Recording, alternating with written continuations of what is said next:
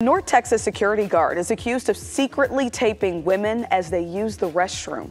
This allegedly happened at a luxury watch shop in Highland Park Village. Two women are suing in civil court, claiming a security guard installed hidden video cameras to record employees and customers. They also say it happened at the Highland Park Village Starbucks. 25 video and audio recordings in all. The suspect, Ronnie Smith, is also criminally charged.